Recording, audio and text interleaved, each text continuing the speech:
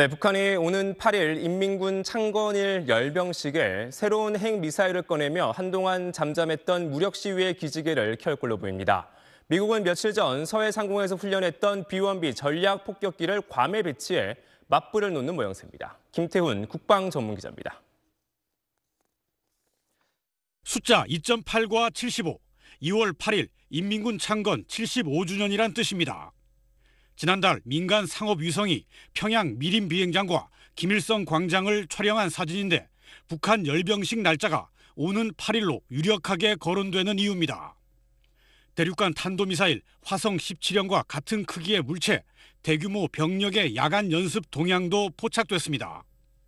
정부 관계자는 SBS에 오는 8일 건군절 75주년 열병식이 야간에 치러질 것 같다고 말했습니다. 이번 열병식에서 신형 고체 연료 엔진을 장착한 새로운 대륙간 탄도미사일이 공개될 가능성도 있습니다.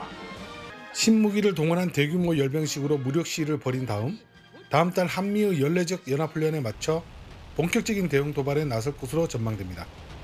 전략 자산의 한반도 전개를 확대하기로 한 미국의 인도태평양 사령부는 보도문을 통해 B-1B 랜서 전략 폭격기가 괌에 돌아왔다고 발표했습니다. 지난 1일 서해 상공에서 연합훈련에 참가했던 미 중부 사우스 다코타주 엘스워스 기지 소속 B-1B가 복귀하지 않고 괌에 배치된 겁니다. B-1B는 초음속 비행이 가능해 괌에서 뜨면 2시간 안에 한반도에 닿을 수 있습니다.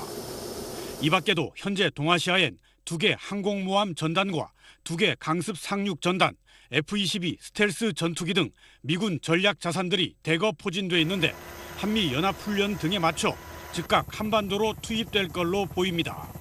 SBS 김태훈입니다.